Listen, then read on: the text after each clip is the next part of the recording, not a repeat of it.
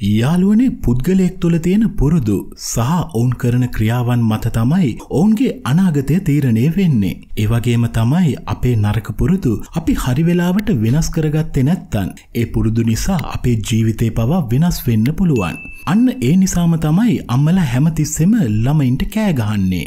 යාළුවනි අපි හැමෝටම මොකක් හරියක නරක පුරුද්දක් තියෙනවමයි. සමහරු ඒදේ අපිට පෙන්නලා දීලා අවවාද කරනවා. ඒ වගේම අපේ වැරදි පුරුදු දකින සමහරු අපි දිහා බලන්නෙත් හරිම අප්‍රසන්න ජනක විදියටයි. ඒත් ඔවුන් දන්නේ නැහැ. අඩුම තරමේ අපිවත් දන්නේ නැහැ. අපේ ඒ සමහර වැරදි පුරුදු අපිට ගොඩක් හොඳ විදියට බලපානවා කියලා. දැන් ඔයාලා හිතනව ඇති නරක පුරුදු කොහොමද හොඳ වෙන්නේ කියලා. ඒකට උත්තරේ තමයි අද අපි මේ අරන් ඇවිත් තියෙන්නේ.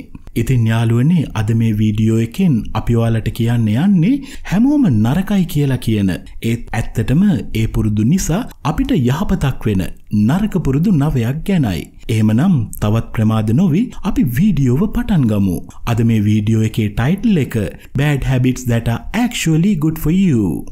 Number 1 නානගමන් මුත්‍රා කරන එක. සාමාන්‍යයෙන් අපි මුත්‍රා කරන එක ගැන කතා කෙරුවොත් ටොයිලට් එකට අමතරව තවත් ප්‍රියතම තැන් දෙකක් තියෙනවා. එකක් තමයි ස්විමිං පූල් අනිත් තැන තමයි ශව එක යට.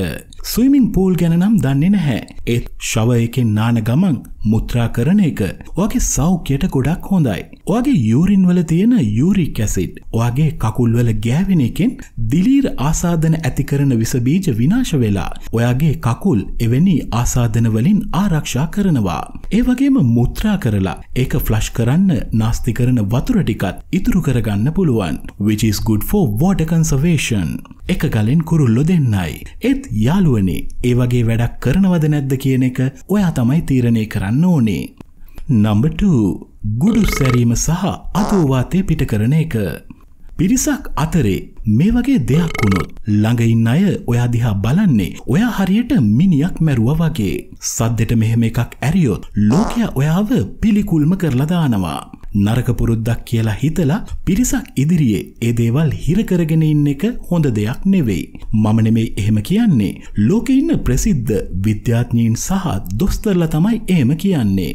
බ්‍රිතාන්‍ය ගැස් රෝයින්ටරෝලජිස්ට් කෙනෙක් වන මහාචාරය නික්රීඩ් කියන විදියට ගුඩු සරිනක සහ අදෝවාතය පිට කරන එකෙන් ඔයාගේ ශරීරය ඇතුළේ කාබන් ඩයොක්සයිට් සහ මීතයෙන් ගොඩ ගැහෙන එක වලක් වනවා. ඒ වගේම බඩ පිපෙන එකත් වලකිනවා. ඉතින් ඔයා හැමදාම සැරින් සැරේට මේ විදියට සද්දයක් නොදැම්මොත් ගෑස් පිරීම හේතුවෙන් ඔයාගේ පපුවරි දෙන්න. එහෙම නැත්තං ඇසිඩ් රිෆ්ලක්ස් වැනි ගැටලු ඇති වෙන්න පුළුවන්. ඒ නිසා ඔයාගේ හිතේ හැටියට ගුඩු සයවන්න වගේම අදෝවාතය පිට කරන්නත් ලැජ්ජ වෙන්න එපා. නම්බ 3 නියපොතු හපන එක විභාගය ගැන හිතද්දි එහෙම නැත්තන් කියපු බොරුවක් මට්ටුවේ කියන බය හිතට දැනුනම අන්තිමට දුක්විඳින්නේ අතේ තියෙන නියපොතු ටිකයි. අපි ගොඩක් දෙනෙක් මොන විදියක හරි පීඩනයකින් ඉන්න වෙලාවට ඉබේම වගේ නියපොතු හපන්න ගන්නවා. අපිට කියලා තියෙන්නේ නියපොතු කනේක හොඳ දෙයක් නෙවෙයි කියලා. මොකද නියපොතු අස්සේ තියෙන බැක්ටීරියා අපේ බඩට යන්න පුළුවන්. ඒත් එහෙම වෙන එකේ වරදකුත් නැහැ. ඇත්තම කිව්වොත් එහෙම වෙන එක හොඳ දෙයක්. නියපොතු අස්සේ තියෙන බැක්ටීරියා ඒ විදියට අපේ බඩට ගිහාම ඒවත් එක්ක ෆයිට් කරන්න අපේ ශරීරයේ ස්පෙෂල් වයිට් බ්ලඩ් සෙල්ස් නිපද වෙනවා. ඉතින් ඒ නිසා නියපොතු හපන එක අපේ ශරීරයේ ප්‍රතිශක්තිය කරන පද්ධතිය හොඳින් පවත්වාගෙන යන්න උදව්වක් වෙනවා. ඒ නිසා යාළුවනේ ඔයාට මොන විදියක හරි මානසික පීඩාවක් ආවොත් චොක්ලට් අයිස්ක්‍රීම් සිගරට් හොය හොය ඉන්න එපා. නියපොතු හපන්න. නම්බ 4 උදේට පරක්කු වෙලා අවදි වෙන එක. early to bed, early to rise makes a man healthy, wealthy and wise කියලා කියමනක් සමහර විට ඔයාලා අහලා ඇති. ඒ කියමන පිළිගන්නේ නැතිව පස්ස පැත්තට එළිය වැටෙනකන් නිදාගන්න අයට අපි කම්මැලියෝ කියලා කියනවා. ඒත් සයින්ටිස්ලා කියන විදියට ටිකක් පරක් වෙලා අවදි වෙන එක ඔයාගේ සෞඛ්‍යයට ඇත්තටම හොඳ දෙයක්. ස්ටැන්ෆර්ඩ් විශ්ව විද්‍යාලය කළ පරීක්ෂණයකට අනුව වේලාසනින් අවදි වෙන අයට වඩා වැඩිපුර නිදාගෙන අවදි වෙන අයගේ පරිවෘත්තීය ක්‍රියාවලිය ගොඩක් හොඳින් සිද්ධ වෙනවා. ඒ වගේම ඔවුන්ගේ මනසත් නැවුම් ශක්තිමත් විදියට ක්‍රියා කරනවා. ඒ විතරක් නෙවෙයි ඔයාගේ ශරීරයට කොයිතරම් නින්ද ලැබෙනවද ඒ තරමටම ඔයාගේ ඇතුලේ ස්ට්‍රෙස් හෝමෝන්ස් මාත්‍රාව අඩු වෙනවා. ඒකෙන් ඔයාගේ බරත් පාලනය වෙනවා. හෘද රෝග, දියවැඩියාව වගේ රෝග ඇතිවීමේ අවදානමත් අඩු වෙනවා. නම්බ 5 කාමරය අපිලිවලට තියාගන්න එක. යාළුවනේ පොඩි කාලේ ඉඳන් මේ වෙනකන්ම කවදාවත්ම මට මගේ කාමරේ පිළිවෙලට තියාගන්න පුළුවන් උනේ නැහැ. ඒ කාලේ අම්මගෙන් බැනුම් ඇහුවා. දැන් වයිෆ්ගෙන් බැනුම් අහනවා. ඒත් කරන්න දෙයක් නැහැ. පුරුද්දට අපි අසරණයි. මේ කතාව මගේ විතරක් නෙවෙයි. ඔයාලා ගොඩක් දෙනෙක්ගේ කතාවත් මේකම වෙන්න ඇති. පිරිමි අපේ ක්‍රියේටිව් මොලේට එක එක අයිඩියා එනවා. ඉතින්නේ අයිඩියා එක්ක ගැහනු ළමයින්ට වගේ අපේ කාමර පිළිවෙලට ලස්සනට තියාගන්න අමාරුයි. එහෙම නැතිව මම පිරිමින්ගේ පැත්ත ගත්ත හැම නෙවෙයි. එක විද්‍යාත්මකවත් ඔප්පු වෙලා තියෙනවා. ඉතින් ඔය අපිළිවෙලට තියෙන අපිරිසිදු කාමරයක ඉන්න පුරුදු වෙච්චි කෙනෙක් නම් දැනගන්න ඔයාගේ ප්‍රතිශක්ති කරන පද්ධතිය හොඳින් ක්‍රියා කරනවා. ඒ වගේම ඔයාට ඇලජික් වගේ ලෙඩ රෝග ඇතිවෙන්නෙත් නැහැ. ඒ නිසා යාළුවනේ ආයේ කවුරු හරි ඔයාට බැන්නොත් පෙන්වන්න යාට මේ වීඩියෝ එක.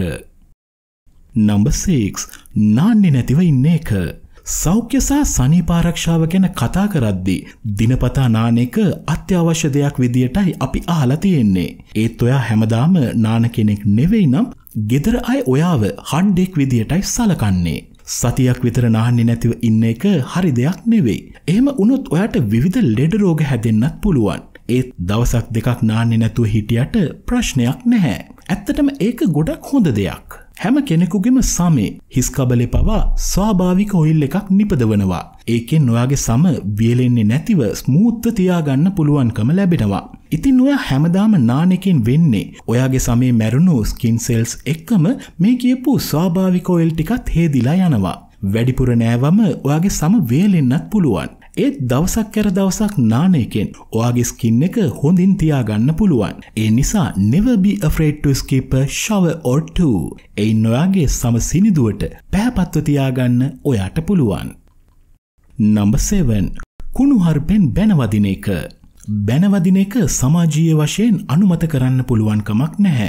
ඒ වගේම තමයි කෙනෙකුට අගෞරව වෙන විදියට කුණුහරුපෙන් බැනවදින එක හරිම නරක දෙයක්. ඒත් අධ්‍යනයන්ට අනුව බැනවදින එක ඔයාලගේ සයිකොලොජිකල් හෙල්ත් එකට ගොඩක් හොඳ දෙයක්. එක් අධ්‍යනයකදී මිනිස්සු කණ්ඩායම් දෙකක් වෙන් කරලා තියෙනවා. මේ දෙගොල්ලන්ටම එක විදියට වේදනාවල් දීලා එකේ ඉඳන් 10 වෙනකන් රේට් කරන්න තිබ්බා. එක කණ්ඩායමකට Tamanගේ වේදනාව ගැන කිසිම දෙයක් කියන්න අවසර තිබ්බේ නැහැ. අනෙක් කණ්ඩායමට කුණුහරුපෙන් බැනලා Tamanගේ වේදනාව පිට කරන්න අවසර දුන්නා. මේ අධ්‍යනයෙන් හෙළි වුණා කුණුහරුපෙන් බැනවැදුන කණ්ඩායමේ රේටිංස් අනිත් කණ්ඩායමට වඩා අඩුයි කියලා. ඒ අනුව පැහැදිලි වුණා වේදනාවකදී කුණුහරුපෙන් බැනවදින එක ඒ වේදනාවට සහනයක් කියන එක.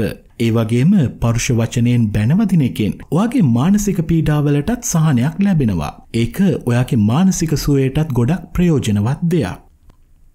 නම්බර් 8 ඕපදූප කතා කරන එක. කොල්ල කොල්ල සෙට්ටුනාම කෙල්ලො ගැන ඕපදූප මතක් කරලා විහිළු කරනවා. ඕපදූප කතා කරන සමහරුන්ට අපි එක එක නේම් ටැක්සුත් දාලා තියෙනවා. ඒ වගේ ඕපදූප කියන සමහරුන්ව අපි විවේචනයත් කරනවා.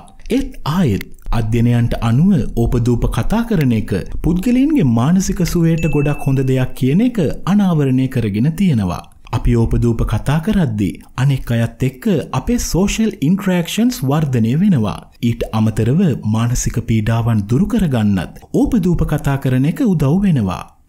නම්බර් 9 නායෙන් හොටුවරන් කන එක. Finally, the most disgusting habit on our list. නහයෙන් හොටුවරන් කන එක.